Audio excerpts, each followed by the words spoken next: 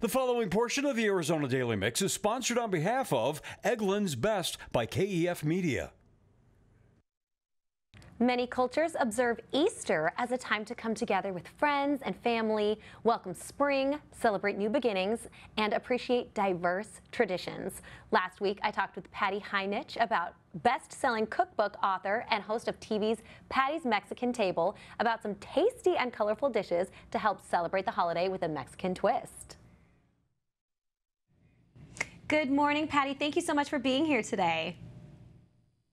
Good morning. Thank you for having me on. So, every family has those special family dishes that they like to bring out for holidays and things like that. What about your family? What are some of the traditions you guys have?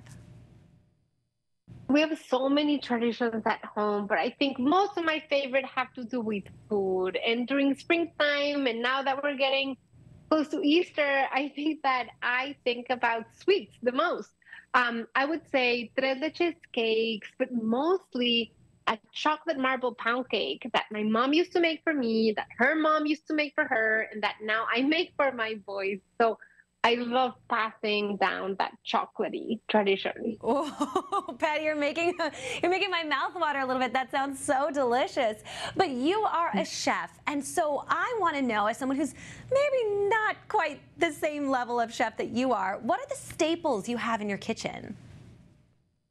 That's a great question. You know, my pantry is really like my treasure trove. There are some ingredients I just can't do without, and starting from the most important essential things oils, vinegars, rice, beans, a few canned items like pickled jalapenos or uh, chipotles in adobo sauce that we use in so many ways here at home.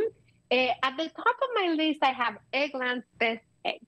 They are so versatile and they have so many more nutrients than ordinary eggs, and they just make everything that I use them for better. If it's a frittata, makes it fluffier.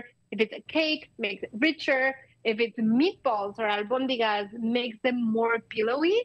Alongside my Eggland's best eggs, I have fresh tomatoes always, ripe avocados, absolutely, fresh and dried chiles, and spices like cumin and oregano.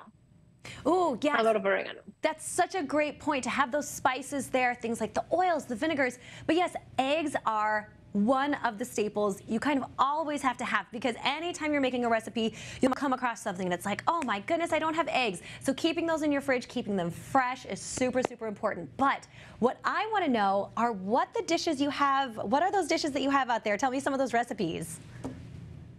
Of course, I have a Mexican frittata that has fire roasted poblanos, potatoes, and salty queso fresco. And this is a great recipe to make for friends when you're hosting because you cook it and serve it in the same pan.